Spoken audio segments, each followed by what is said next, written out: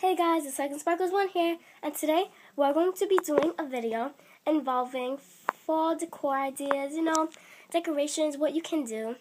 So yeah, let's get started.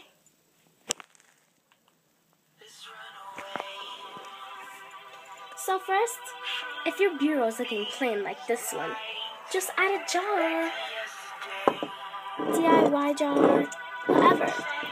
In this jar, we just added some pine cones and a LED flashlight or a candlelight, fake one. Another thing is to add a candle and some leaves. It's my fave. That candle is called Heritage Pumpkin. Smells great.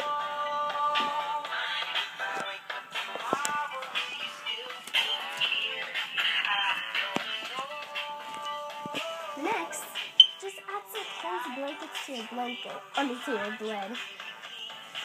If, you know, if that's looking a little too summery, just add a warm blanket and it'll look.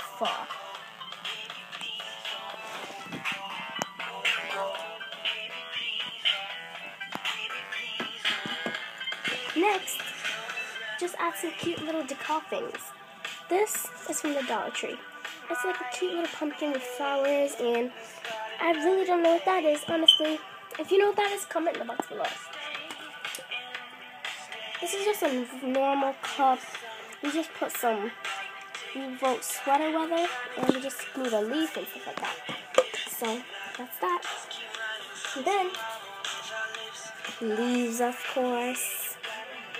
Another thing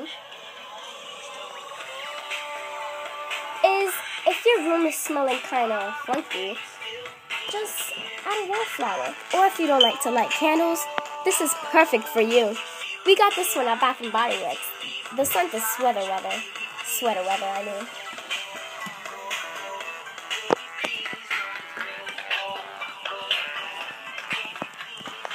Another thing, if you want if you want your room to sparkle with a little tinge of Halloween, just add some pumpkins from Halloween.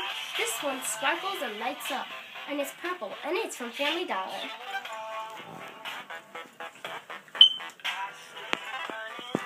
Next, just add some cute pumpkins like this.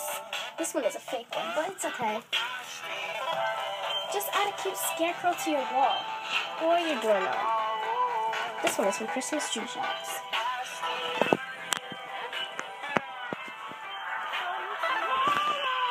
Next, add some real pumpkins to get it real fallish.